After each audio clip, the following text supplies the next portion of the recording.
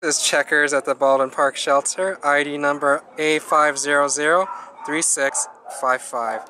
Uh, we think he is a male uh, apricot field spaniel poodle mix and uh, about four years old. He came as a stray on uh, October 18th and he's a decent sized uh, one at 17 pounds. But uh, he's very calm right now. I would I wouldn't be surprised if he would make a, a good lap dog. yep. Yeah, so why don't you tell us a little bit more about... Uh, oh my gosh, this dog is so unique. Um, definitely got some spaniel in there, and he's a little dirty because maybe he's been on the streets for a while, but if he had a bath, he, his coat is gorgeous.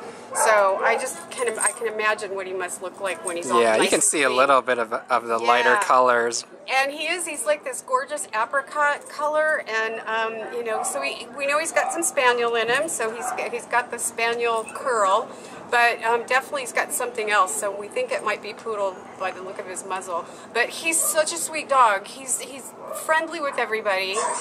He looks like he's Yeah. to give you those kisses, I think he'd be great with um, any kind of family situation. Even if they had kids, he probably would love kids.